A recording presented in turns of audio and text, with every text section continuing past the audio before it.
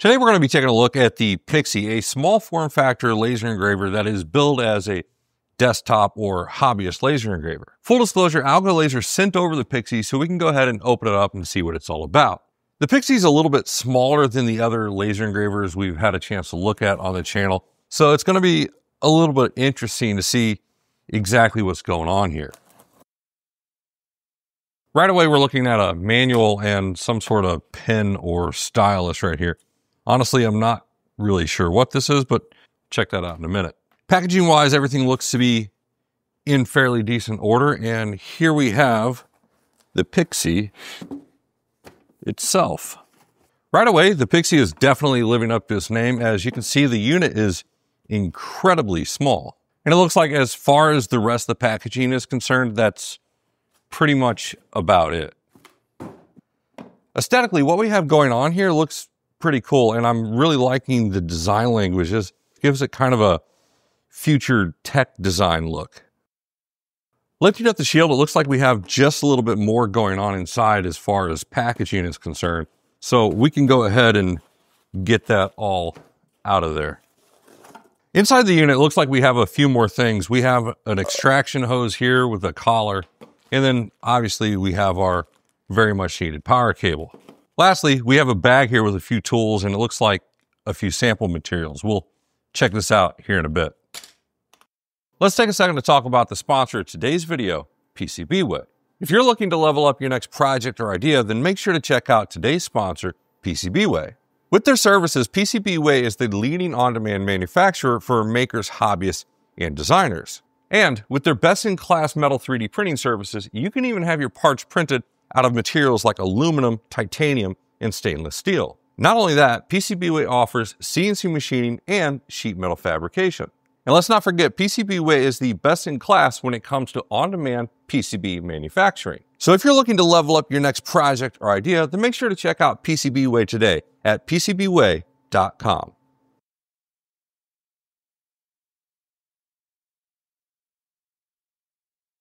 This laser should be fairly straightforward. So the first thing I'm going to do is go ahead and power it on and get it connected to Wi-Fi as the main way that you use the Pixi is in connection with their app.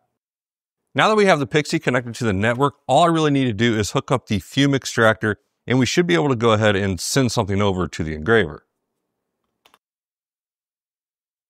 Just using the Algo Laser app itself, we have a few options for images and text and design things that we can use for the Pixi. So we're just going to go ahead here and grab some of the sample material and throw it in here. With our sample material in the Pixi, we're just going to go ahead and grab the focusing tool from the bag and then on top of the laser head, we should be able to manually raise the Z height and just place this in between our material and the laser module. Let's go ahead and take a look at the app and see exactly what we can throw at the Pixi. Our sample material is loaded and we have the fume extractor on. So let's go ahead and hit start on the mobile app and see exactly how it works out.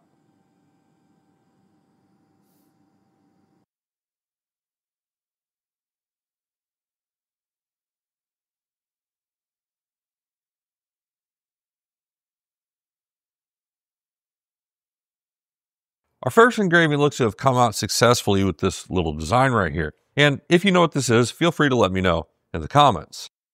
True to its name, we're not going to get a whole lot more out of the Pixi laser as it's not really designed as a large format engraver. But even with a working area of 100 by 100 millimeters, what we do get is about on par with what we would expect from a diode laser. Being a diode laser, the Pixi has a good amount of variability as to the materials it's able to engrave. Not only can we engrave on wood, but we can also engrave on these coated metal business cards, as well as some acrylics, leather, and other materials. Unfortunately, where we see things start to fall apart has to be in the price to the available workspace. You see, this being a 100 by 100 millimeter work area, you have to have very specific use cases to need the Pixi. And once you look at its price tag, it's kind of hard to justify. Now, don't get me wrong, I absolutely love the Algo Laser Pixi. I like its lightweight footprint, its overall design language, and I absolutely love Algo Laser's operating system.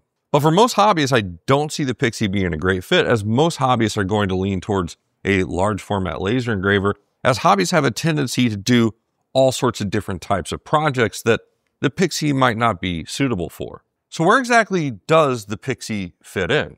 Despite its size, one of the best features about the Pixi has to be its compact form factor and ease of use. Because bigger doesn't always mean better for every use case and environment.